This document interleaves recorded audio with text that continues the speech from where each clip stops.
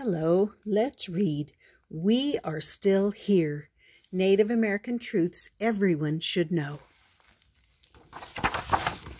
And she's preparing her Indigenous Peoples Day project. This book has a lot of information.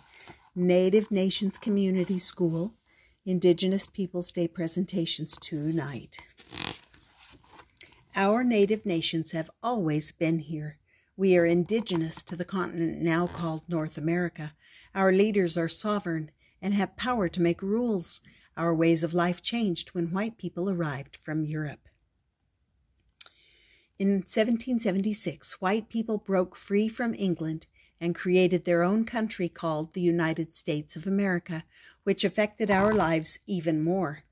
Like European rulers before them, the leaders of the new U.S. government signed legal agreements called treaties with our native nations.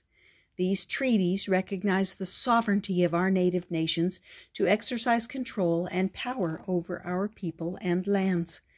But some treaties force native people to leave our homes or sell the lands where our ancestors lived the U.S. government made promises to native nations in almost 400 treaties altogether, but the federal government did not always keep its promises to the tribes.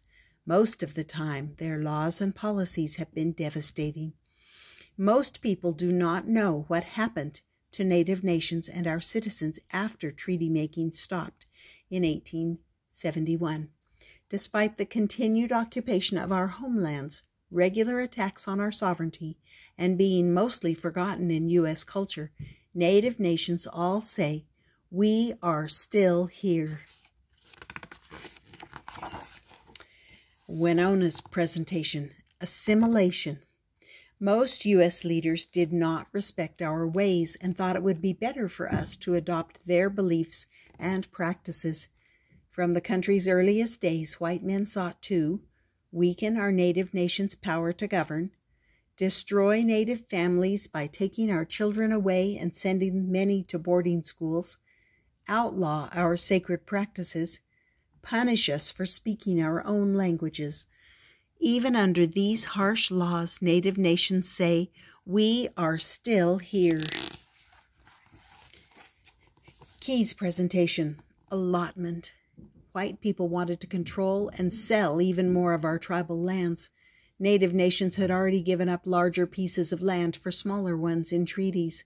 In fact, the United States passed laws that divided up the remaining allotted lands of many tribes, gave a certain amount of land to each tribal citizen, sold the leftover land to white settlers and railroad companies. In spite of all this, native nations say we are still here.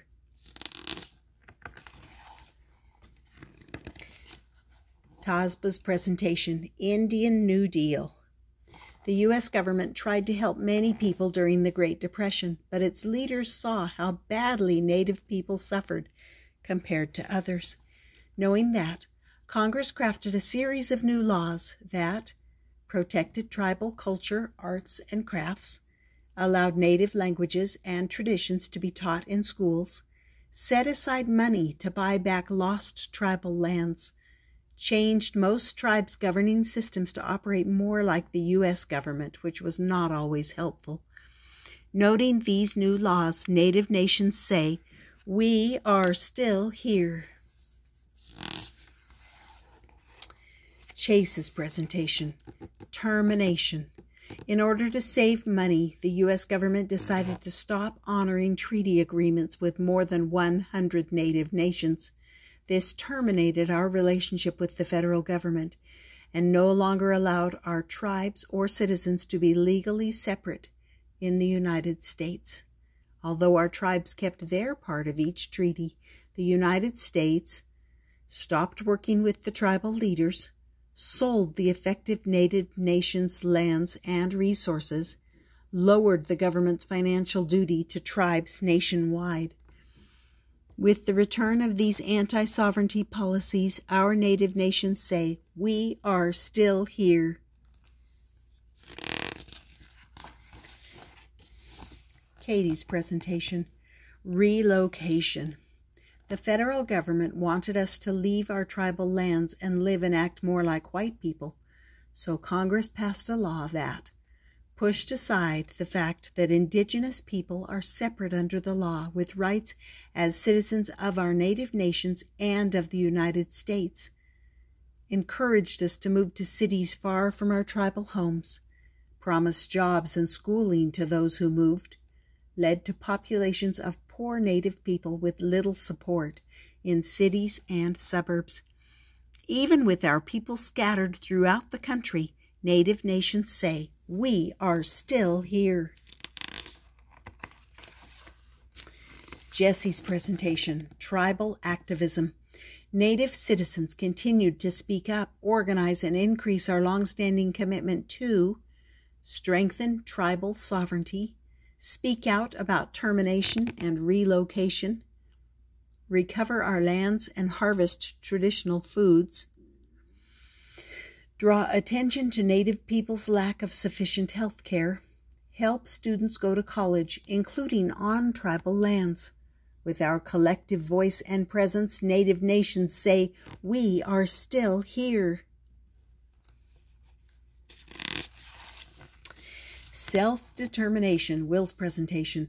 Native nations needed more control of our own lives, so we pushed back on federal rules that oversaw nearly every part of life on our lands. To support tribal sovereignty, the United States passed laws that recognized that our governments can handle our own affairs, helped Native nations offer programs and services directly to our citizens, restored many terminated tribes to federally recognized status allowed some tribes to recover lands lost during allotment and termination.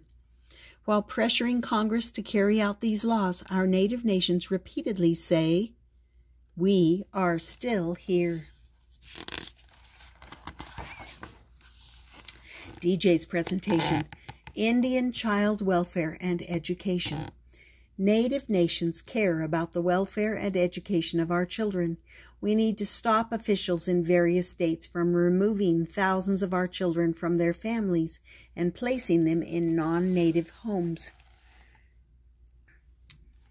Native nations prompted Congress to approve laws that blocked state officials from taking our children without notifying our tribe, focused on Native children staying with family or other tribal citizens, address the specific education needs of Native children in our communities. To protect and provide for our future generations, Native nations say, We are still here. Maya's presentation Religious Freedom. Native people challenged federal and local laws and policies that had banned us from freely practicing our traditional religions. Native nations sought help from the U.S. Supreme Court so that we could practice our beliefs and ceremonies, tribes could access sacred sites outside our lands, tribal citizens could keep and use sacred objects. When the court did not support this, Native nations sought support from Congress to say, We are still here. Ella's presentation Economic Development. Tribal leaders noticed our people failing financially while others in the United States succeeded. Some native nations opened casinos as a way to make money on our lands where few opportunities existed. These type of business allow these tribes to vary how people earn a living and care for themselves, use profits to develop businesses and employment, pay for important services like police, fire stations, and health care, offer scholarships and after school programs, as well as operate tribally run schools. Even though the federal government regulates tribal casinos, Native nations say, We are still here. Chugi's presentation Language Revival. Native nations want to increase the number of tribal language speakers.